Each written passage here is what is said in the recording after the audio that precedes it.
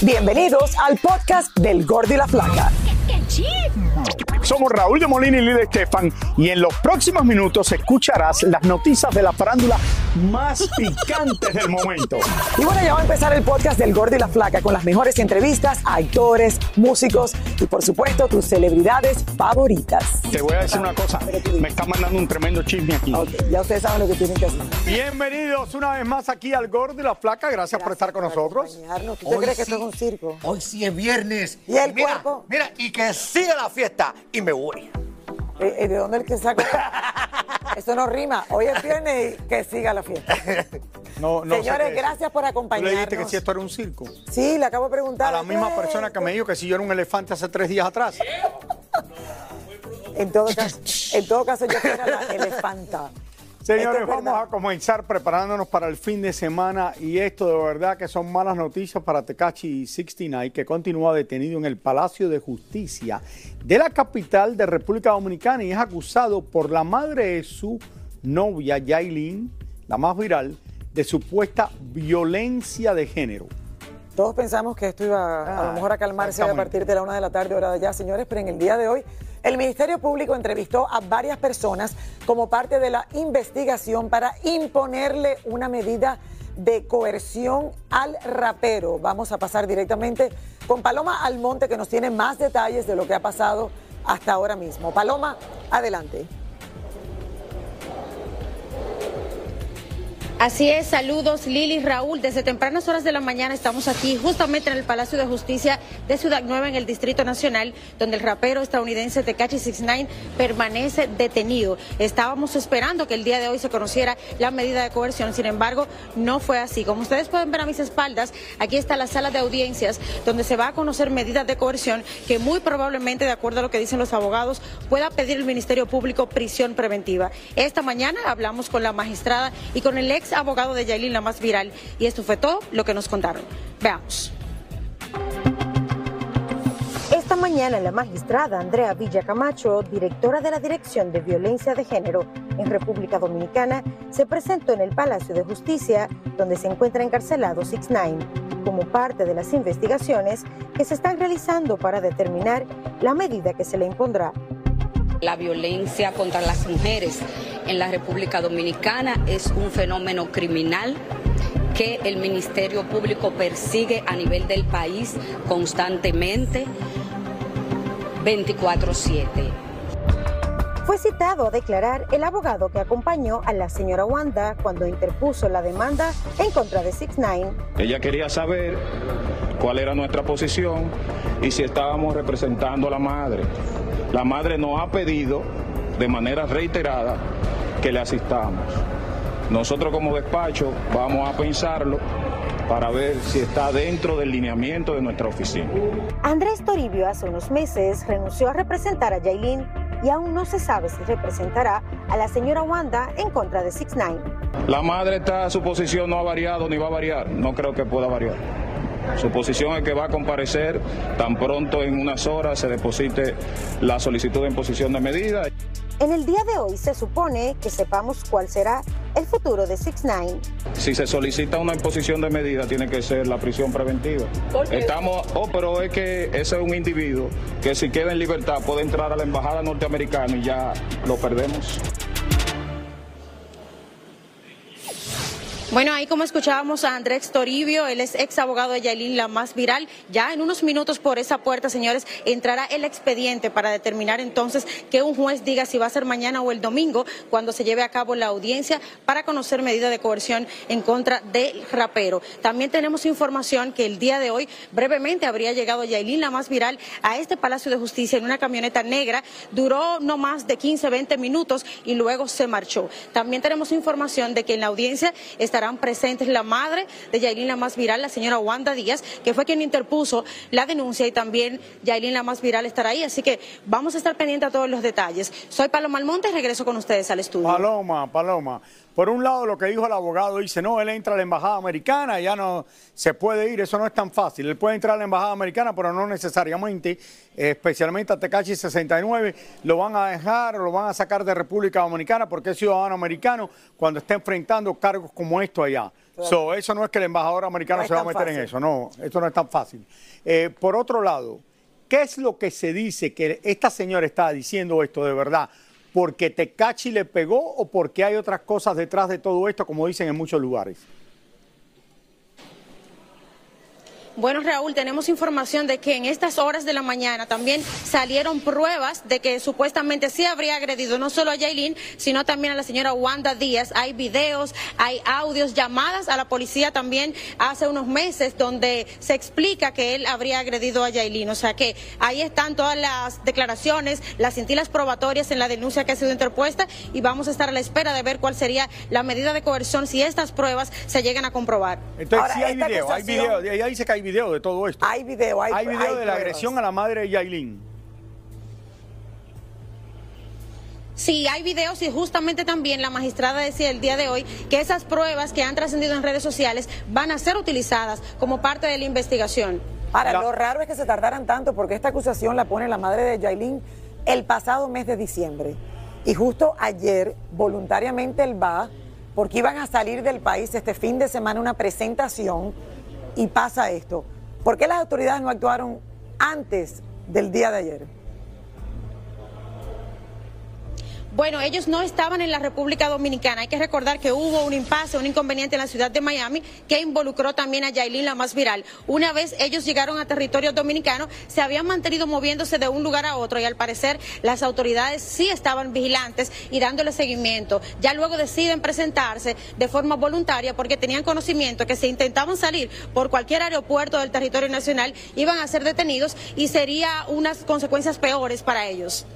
Eh, Paloma, eh, el video este que existe, que tú dices que hay de la agresión de Tecachi 69, eh, ¿las autoridades te lo han enseñado, se lo han enseñado a la prensa o no? No, las autoridades aún no han develado ninguna de las pruebas que se han presentado porque eso es de carácter privado. Tenemos que esperar entonces que más adelante ya el ministerio pueda determinar cuál será la medida de coerción. Muchísimas gracias, gracias. Muchísimas gracias, eh, Paloma Almonte, justo ahí donde se está llevando a cabo todo esto, Raúl. Es, es más serio entonces de lo que se hablaba, porque mira, Sí. primero que nada pensábamos, no, la policía lo está deteniendo porque esta mujer está diciendo esto que me parece raro, pero si hay un video ya es otra cosa y que por eso es que quizás cayó en la cárcel. Al final lo que dijimos, si hay pruebas contundentes, Raúl, pues obviamente entonces sí, esto va Sí, si tienen pruebas suficientes para mostrar que por eso es que está en la cárcel. Parece que si hay. no, no creo que hubiera estado detenido. Así es, bueno, ya veremos y seguiremos muy de cerca este caso para todos ustedes. Ahora, cambiando el tema, las autoridades en Nuevo México han acusado nuevamente a Alec Baldwin de homicidio involuntario por el disparo que le quitó la vida a la cinematógrafa de la película Rust después de escuchar la evidencia de fiscales especializados y asignados a este caso. Ustedes recuerdan de este caso de casi un año atrás o un poco más, que durante una filmación de una película, Alec Baldwin, que es un artista bastante reconocido, le dieron una pistola, que no le, le dijeron que la pistola estaba, que no tenía balas adentro, y cuando él disparó para la escena de la película a la cámara, sí tenía una bala y mató a la camarógrafa, cinematógrafa que estaba manejando esa cámara adentro de una iglesia pequeña, porque esto era una eh, película, lo que es un western de cowboys, y habían construido esto en el set y era el, el productor ejecutivo de esta película. Sí. El actor deberá ir a juicio y de ser hallado culpable podría pasar hasta 18 meses de prisión. Otra vuelta le ha dado este caso, Raúl, que pensamos que ya había pasado todo y ahora vuelven a lo mismo. ¿Qué onda, banda? Somos el bueno, la mala y el feo y te invitamos a escuchar nuestro podcast. Acompáñanos y pasa un rato agradable. Ríete y ponte a llorar con nuestros chistes y no te pierdas las mejores trampas y enchufadas. Así que ya lo sabes, descarga la aplicación de Euforia, busca nuestro podcast y accede a todo el contenido que tenemos para ti. El bueno, la mala y el feo. Puro show. Y ahora regresamos con el show que más sabe de farándula, el podcast del Gol de la Plata. El hotel en España, donde le robaron a Daddy Yankee sus lujosas joyas, deberá pagarle al Big Boss más de un millón de dólares porque según las investigaciones se mostró que hubo negligencia por culpa del hotel, lo que permitió que los ladrones cometieran su fechoría. Así reaccionó Alejandra Guzmán ante la confusión que tuvo con el doble de Cristian Nodal. Pues es que estaba igualito, yo lo vi de lejos. ¿Qué pensaste cuando lo viste? ¿Qué onda, güey? ¿Cómo estás? Pero la verdad es que sí se parecía, ¿eh? Una ola de críticas le está cayendo encima a la diseñadora Carolina Herrera porque su casa de moda acaba de sacar a la venta una nueva cartera o bolso muy parecido al que usan los campesinos de nuestros países y con un precio altísimo. El príncipe Harry al parecer ya no quiere más broncas legales con los tabloides ingleses, pero para retirarse de la pelea como los boxeadores deberá pagar todos los gastos de corte que conllevó algunas de las demandas que él mismo había presentado.